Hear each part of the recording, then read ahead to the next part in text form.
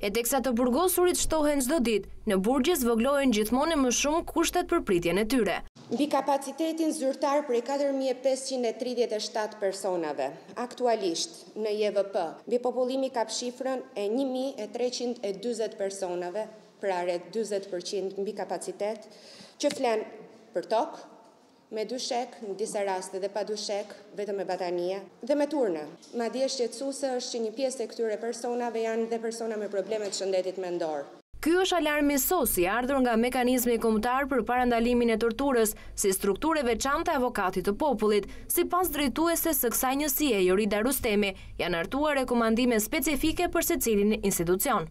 të merren masa të menjëhershme për të kufizuar mbipopullimin në IEVP dhe paraburgime, t'i sigurohet çdo të dënuari shtrat i veçantë dhe një komplet i përshtatshëm fjetjeje. Marrjen e masave nga ana e Ministrisë së Drejtësisë lidhur me përpilimin e një strategjie të qartë kundër mbipopullimit në burgje. Situata duket gri edhe në njësitë policore për mbajtjen e personave të ndaluar dhe të arrestuar, Komisariati i Elbasanit, Lezhës, Beratit, Korçës, Komisariati numër tre dhe pesë, si dhe drejtoria e qarkut Tiranë janë qartazi mbi kapacitetin zyrtar. Sipas institucionit të Avokatit të Popullit, një faktor për mbipopullimin rezulton të jetë ashpërsimi i politikës penale, që nuk është i vetmi mjet për të forcuar rendin publik, e aq më pak shtetin e së drejtës. Tendencat europiane, sipas tij, janë për përfshirjen e dënimeve alternative, veçanërisht kur bëhet fjalë për të miturit.